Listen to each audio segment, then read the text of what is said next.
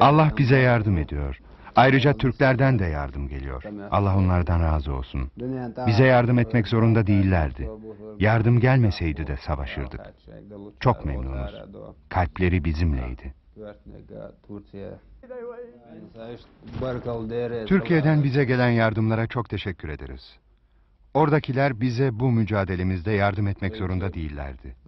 Ama kalpleri bizimle. Buradaki sorunla kendi dertleri gibi ilgilendiler. O yüzden biraz evvel ayağa kalkarak teşekkür ettim. Ama bakın, Türk devleti büyük ve güçlü bir devlet. Diğer devletlerle iyi ilişkileri var.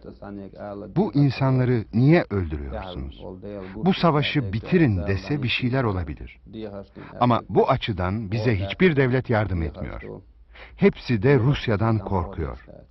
Ama dünya Rusya'yı şimdi durdurmazsa ileride herkesin başına bela olacak.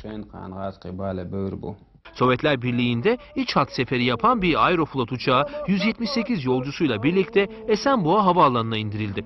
Uçaktaki hava korsanları uçağı 5 saat havaalanında tuttular. Amaçları Çeçenistan'ın bağımsızlığının tanınması için Moskova'ya baskı yapmaktı.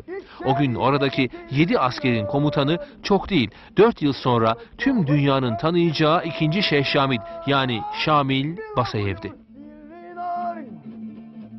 Siz 1991'de bir Tupolev yolcu uçağını Türkiye'ye kaçırmıştınız. Bunu neden yapmıştınız? Amacınız neydi bunda? Evet, 9 Kasım 1991'de Rus askeri Grozny'ye girdi. Savaş başlamak üzereydi. Bir savaşa yol açmadan bunu dünyaya nasıl duyururuz diye düşündük. Bir arkadaşımla plan yapıp Minovat havaalanına gittik. Oradan da uçağı Türkiye'ye uçurduk. Çünkü en yakın yabancı ülke Türkiye'ydi. Yarım saatte yaptığımız bir plan sonucu o uçağı kaçırmıştık.